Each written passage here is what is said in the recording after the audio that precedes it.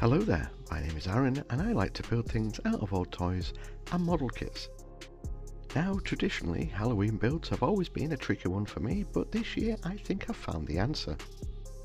I'm going to build a graveyard spaceship inspired after watching Michael Mann's first film called The Keep. It's not very good but it's his first film so we'll let him off. In the film a group of soldiers unleash evil that has been kept suppressed by a huge castle. Now for my build, I'm replacing evil with superglue and plastic, a Nerf gun to be precise, so you know what that means. Let's start scratching that build. I proceed by taking off all the raised lettering using a nail file I found in the other half's cupboard. Don't worry, I'll put it back when I'm done. I soon realised the nail file wasn't cutting the mustard, so I used my own nail file and brought out the rotary tool. I've still yet to pick a name for this and hopefully by the next video it will have one and if you want to leave a suggestion of, of a name leave it in the comments. Once all the branding was taken off I glued it back together. I should have used the screws but I'd placed them in such a safe place that I'd actually forgotten where I'd put them. I'm going to need some styrene or plastic card to fill in the various gaps on the toy, so I take the next two hours, condense cleverly into mere seconds with video editing to save your soul and sanity.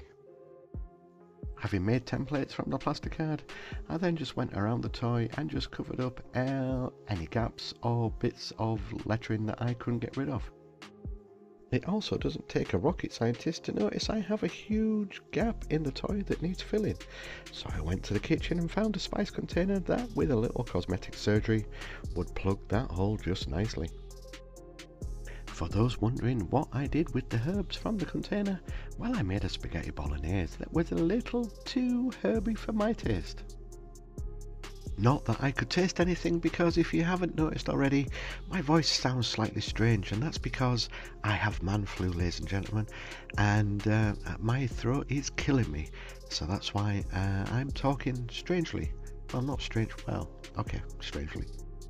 I realised the back end of the ship still needed uh, some length, hello ladies, so added the slide back onto the toy.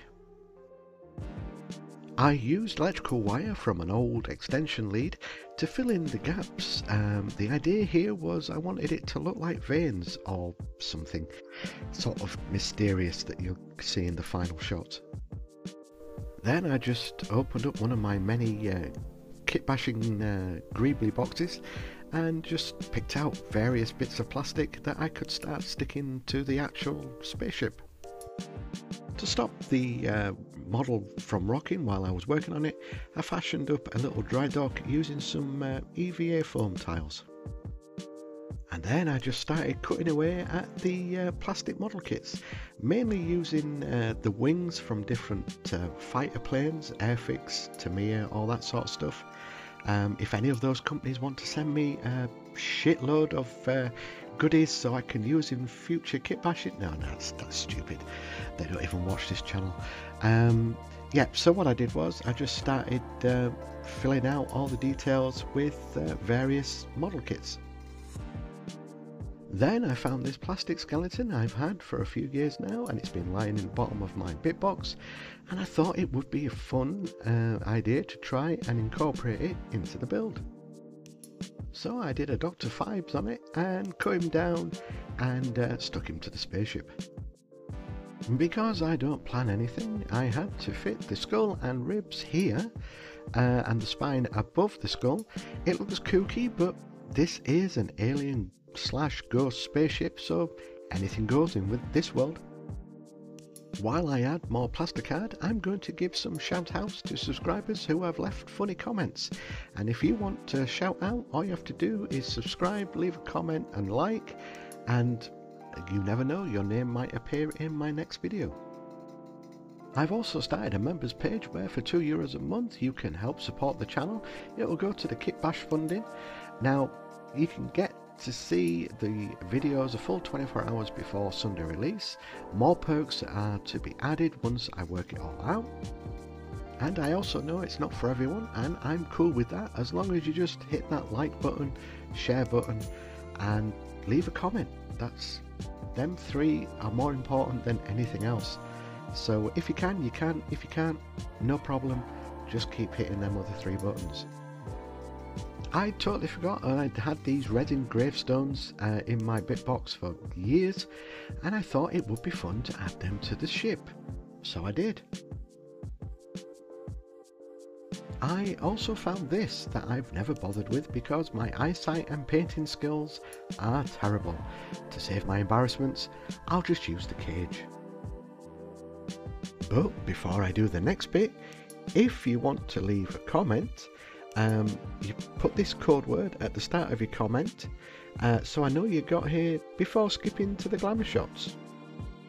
And to quote the Side Eye Guy who's on YouTube, the code word is the Grim Reaper. Please also like and subscribe. Thank you.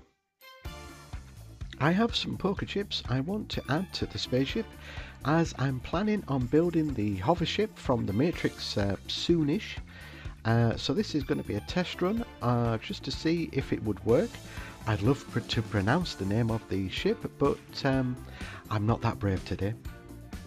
I'm going to add some of this armature wire just to the build, just to make it look like some pipes.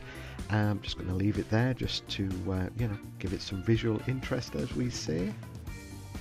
And then I found some skulls that had been long forgotten. This is a, an episode where I'm just clearing out the clutter from my bins really. Um, they're going on the build.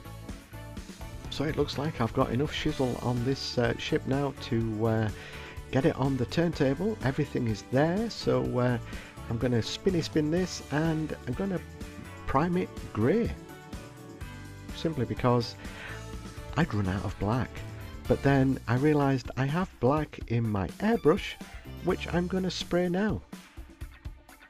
I think I've used this paint once before. It's the colour changing paint and it's uh, it's got a green sort of metallic tint to it.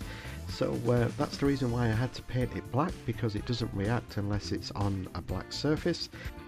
I hope you can see because um, the the lights in the uh, in the shed, the garage, um, work workshop, uh, workplace um, isn't. I don't know if it's showing up properly or not, but uh, it looks green to me. Let's have a quick Michael Bay dramatic shot zoom in. There we go. Um, oh yeah, you can see. So what I'm doing now, I'm just going to try and highlight um, the gravestones and the skulls and just the edges of the spaceship. I best not forget the skull and uh, other bits of bones. And then to tone down the white, I used uh, some uh, rust wash. Just went over all the uh, white bits. A bit like when the other half's putting on the fake tan. She's putting, you know, bronzer on the white bits said too much. If there isn't another video after this video, that means that the other half uh, has taken offence to that last comment and I am um, deceased. Um, hopefully not. Hopefully I will be back.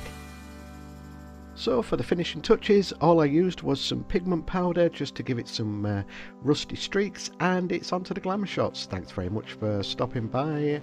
I appreciate all your support. Keep scratching that build, everybody. Thanks for watching.